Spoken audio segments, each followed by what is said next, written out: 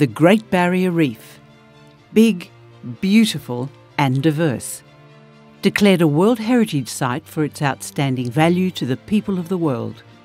The Great Barrier Reef isn't just Australia's Great Barrier Reef, it's the world's Great Barrier Reef.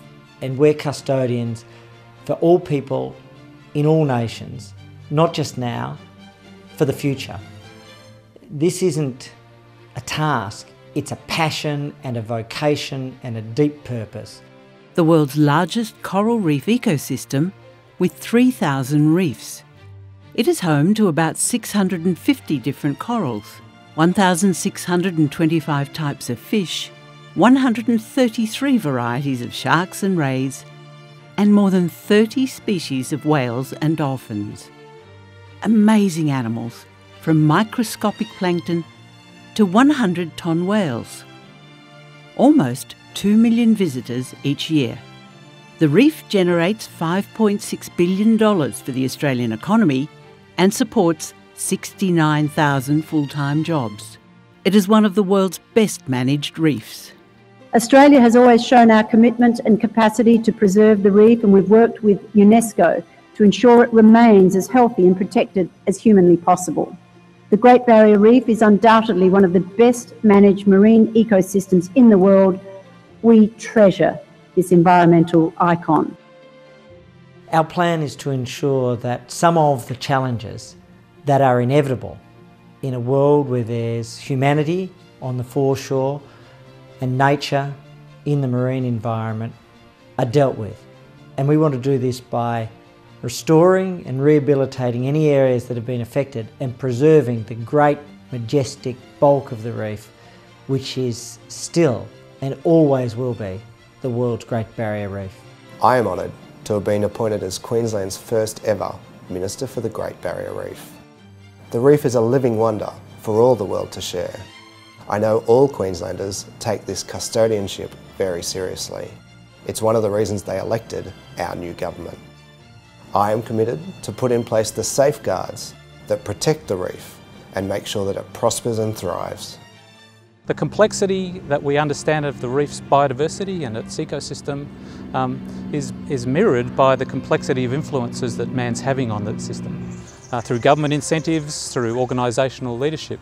What we've seen is a, a real um, bringing together of expertise and only by doing that, having that partnership approach, are we ever going to answer the really complex questions that are, are, are at our forefront right now. The quality of water entering the reef is improving as a result of a partnership between farmers and governments to stop fertilisers, chemicals, and sediments running off farming land.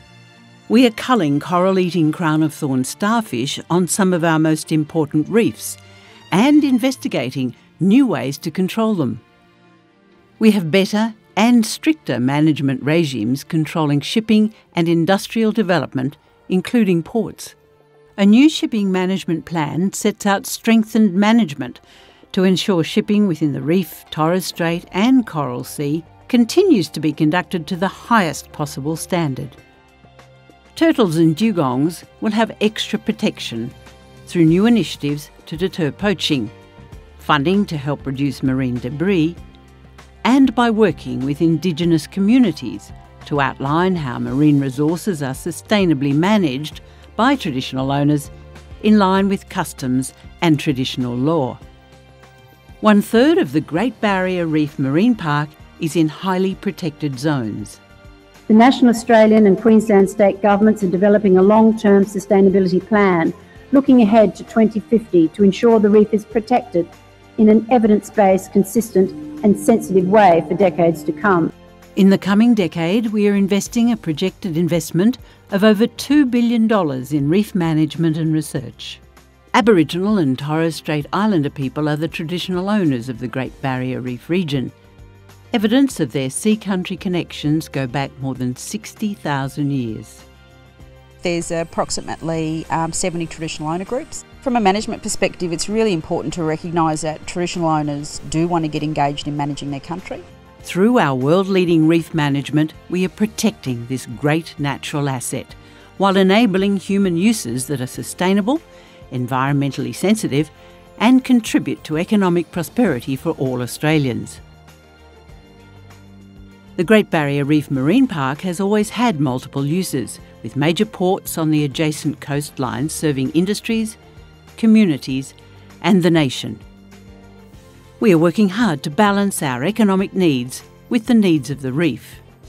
Dredging for the development of new or expansion of existing port facilities is prohibited outside the key long established port areas.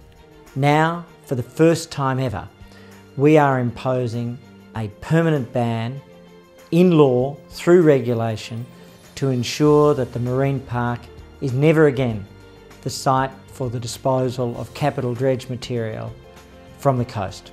There were five major capital dredging proposals either planned or under active assessment in September 2013. There are now zero. Over the next five years, the Queensland Government will invest a further $100 million in reducing nitrogen and sediment runoff in key catchments. We've set really ambitious targets to reduce nitrogen runoff by 80% and sediment by 50%. We will ban the dumping of capital dredge spoil in the entire World Heritage Area. We will strengthen coastal planning laws and we will reintroduce vegetation management laws. The Queensland Government is determined to do what it takes to make sure the Great Barrier Reef remains one of the world's great treasures. The reef remains an incredibly diverse and rich marine environment and retains the outstanding universal value it was recognised for when it was inscribed on the World Heritage List 33 years ago. Given Australia's well documented record on reef management and our strong management plans, the Great Barrier Reef does not warrant a change in its listing status to in danger. It is unique, and it is loved, and it is in safe hands.